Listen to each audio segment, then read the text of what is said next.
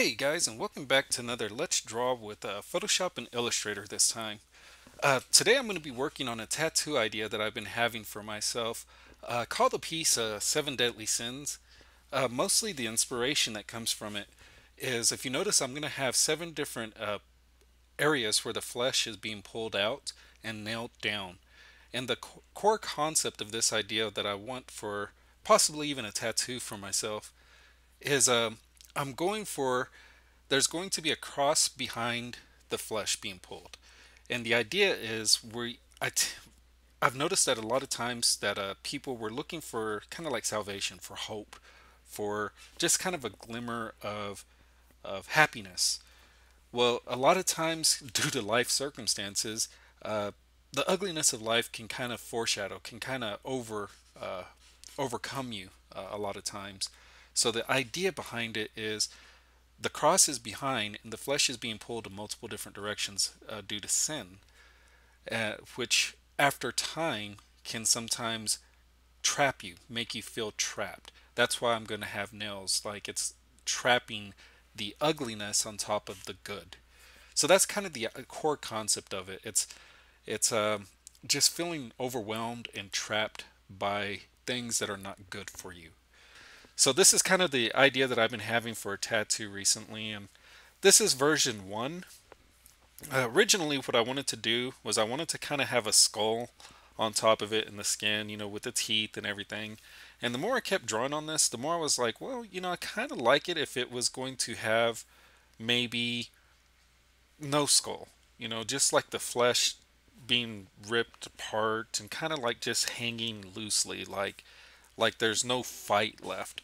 So as I was drawing this, I was still liking the skull idea, but uh, the more I was kind of playing with it, I was like, you know, I might redraw this into kind of just like loose skin and really see what else I can kind of come up with. But uh, since I had already gotten a little bit far in this one, I went ahead and decided, you know what, let's keep going. Uh, I'm liking this one.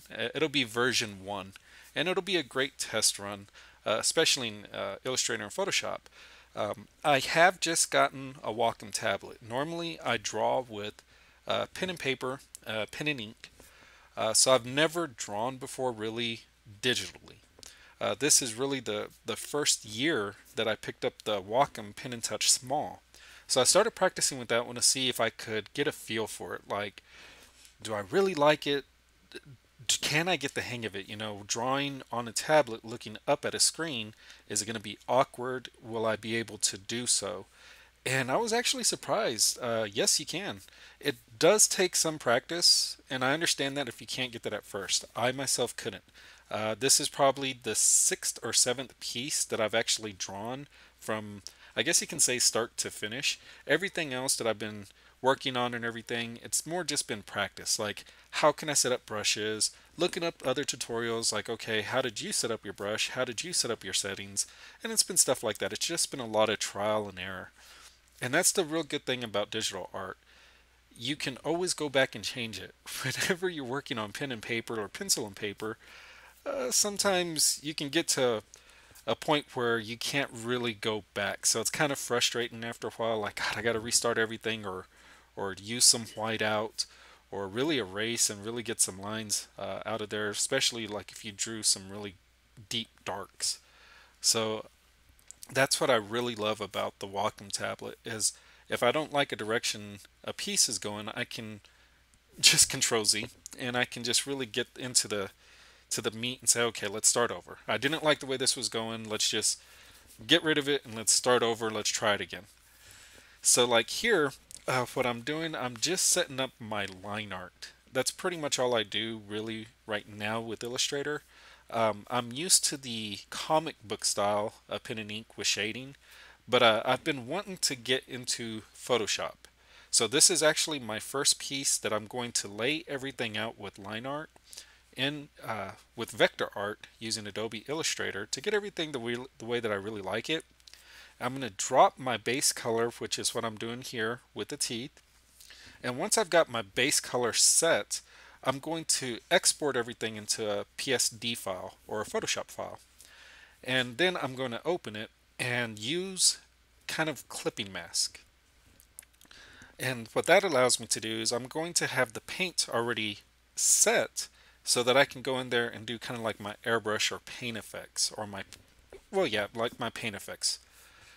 So with this piece, what I did is I allowed myself about three hours, I want to say, uh, just quickly get something down, draw it out, and then take it into Photoshop and let's see what we can get done as a speed paint uh, in Illustrator and Photoshop. And like I said, a lot of times I kind of draw like, okay, this piece is taking me this way, or I'm starting to see something else going on.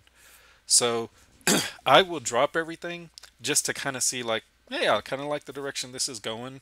Let's continue, or I don't like it the way it's going. Let's get rid of it and start over. So here what I've done, I went ahead and brought it into Adobe Photoshop. I exported the vector art into a to a PSD file. Now the difference between a vector and Photoshop document is Photoshop kind of gives it pixelation, so it gives a little fuzziness to your lines. In Illustrator, it uses math. It's really sharp, crisp lines, which makes it really good for like t-shirt designs, comic books, because it gives a really sharp edge, a clean edge. Photoshop gives you the ability to kind of blend your shadows, blend your colors, stuff like that. That's why it's really good for photo manipulation, like photographers, and stuff like this, like airbrushing or painting itself. Now, the reason I wanted to bring it into Photoshop is because I wanted to start playing with my shadow effects, kind of like, let's actually do some shadows, some global shadows, um, how the skin would wrinkle, and just stuff like that. So that's what I went ahead and did with this piece was let's just get the base layers down which is the flesh tone the yellow for the teeth uh, the, the dark interior portion of the nostrils and the eye sockets and stuff like that let's just go ahead and get everything laid out and uh, as I've said in many of the videos I kind of draw on orthodox um, I kind of had an idea that I wanted to put across just a simplistic cross, a very minimalist cross behind it. I didn't want to give it shadows or anything like that. I wanted something very simple, like it's just something that shows kind of like a ghost effect. I wanted to put most of the detail on the foreground just to kind of show like we really let the bad consume over. So I just kind of wanted to do that, just a simplistic minimalist cross in the background and once I did that, I started noticing the eye sockets, the nostrils, or where the nose would be, and the mouth. I really didn't need the darks. In fact, I kind of liked it without the darks, where it was just maybe the flesh. So what I'm going to do uh, at the end of the video is I'm going to go ahead and remove the the darks in between uh, the mouth, nose, and eyes. That way everything can kind of show through. And here I started noticing that uh, I didn't put enough uh, detail into the nails. Uh, I know, I remember reading a long time ago that nails back then were more uh, box shaped. They weren't actually round because the blacksmith um, really couldn't make round. So more of your nails back in those days were kind of, I guess you can say, squarish or pyramid style looking. So that's why I kind of went with the square head instead of the traditional round head nails, just to kind of do something different and just kind of maybe given a, a, a reference back to like way back in the day of Roman times and stuff like that. So here what I'm doing is I'm just practicing uh, dropping uh, some uh, highlight shadows, some lights and darks, you know, just to kind of make the piece pop just a little bit more. And you can see where I'm kind of playing around a little bit with some shadows, just kind of blending a little bit. Nothing too extravagant. I'm just trying to see what brush is working for me, what effects is starting to show the way that I really like. And again, like I said, this is technically my first second piece to actually paint in Photoshop. So I'm actually just testing everything out. Like, okay, let's draw some highlights with some colors, some greens, put some blend modes on it for like the lights. Uh, if you really look at skin and everything else, there's actual other colors going on other than just black and white and flesh tone. There's greens, there's blues, there's purples, there's everything else that actually is in the skin. So that's what I'm trying to do. I'm just drawing some or dropping some purples for the cool colors, some greens for some kind of like the highlights and stuff like that. And once I had everything set up, I just went ahead and just did a quick filter setup or just ran some quick filters, you know, just gave it a stroke on the on the cross with uh, some inner shadows and dro uh, outer drop shadows just to kind of give it a little bit of flavor and just to see what uh, what I like after it came out. And there you go, folks. Uh, that is the start to finish from the Adobe Illustrator uh, concept sketch to the actual final render in Adobe Photoshop.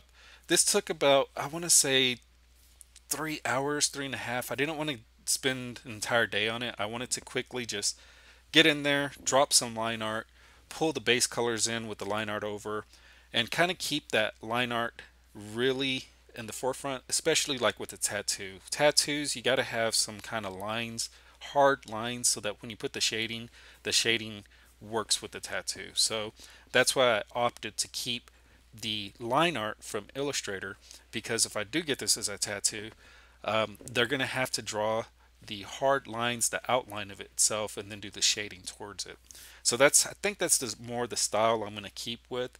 Uh, that way, or whenever I do tattoos, um, it'll translate over to a tattoo artist easier versus then okay well we're going to have to find where the hard lines are going to be due to your shading and we're going to have to work the that's the template in order for us to transfer your to your skin so I think that's the way that I'm definitely going to continue going is keep hard lines and then shading underneath or on the base color. And don't forget guys, if you got any comments or questions, don't forget to leave them in the comments section below. Uh, don't forget to rate, like, and subscribe, and I will talk to you all later.